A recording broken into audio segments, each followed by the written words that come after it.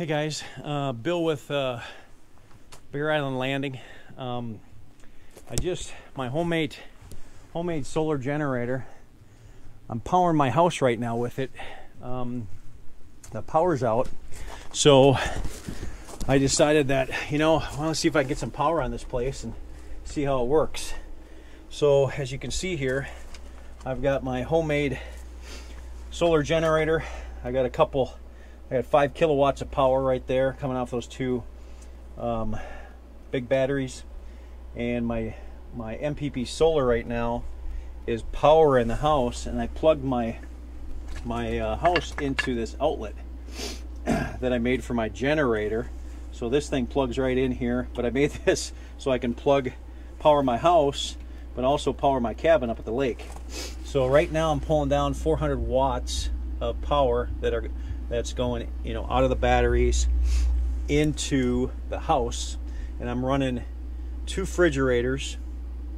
And I'm running uh, um, a, uh, my heater because it's wintertime here in Minnesota. I'm running my heater as well as um, a freezer and some uh, kitchen lights etc so we're gonna go inside and we'll take a look and see see what we got powered up inside right now. So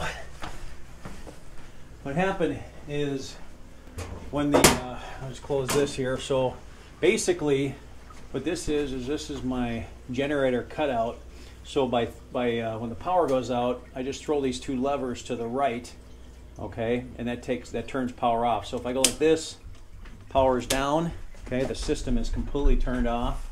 All right. If I uh, come to the right, okay, and back to the right, now I'm powering everything back up inside the uh, inside the house. So I don't have every circuit in the entire house, but I've got my water system, I've got my heater, okay, I've got both of my downstairs refrigerators and freezers, and I have my upstairs upstairs kitchen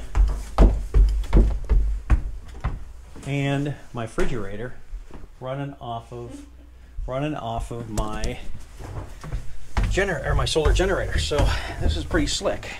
Um, so now the power's out, I got power back on the place. So kind of excited.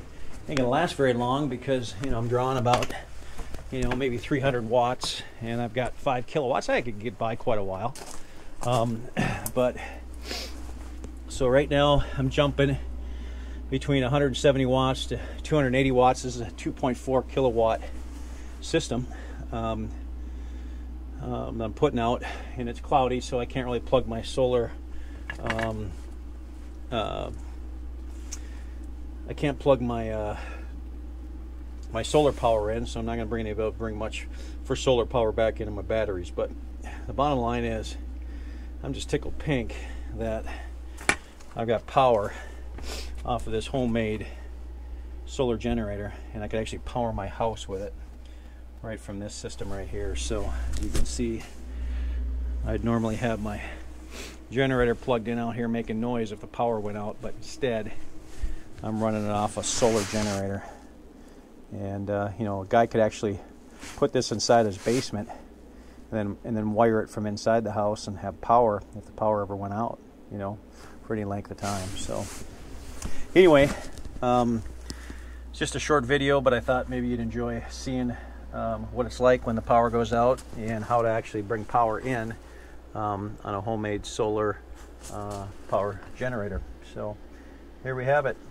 Ooh, so I just jumped to 900 watts. So I heard it kick on. So something big, and then went back down to 250 watts. So something kicked on. Um, could be my heating system. Could be my um, my refrigerators. Again, I've got I've got two refrigerators, a freezer, my heater, my water softener. Um, I don't have my well pump on it, but I've got everything else on it. So other than that, that's it. It's uh, it's being powered, so I'm excited. Anyway, till next time, we'll see you later. Bye.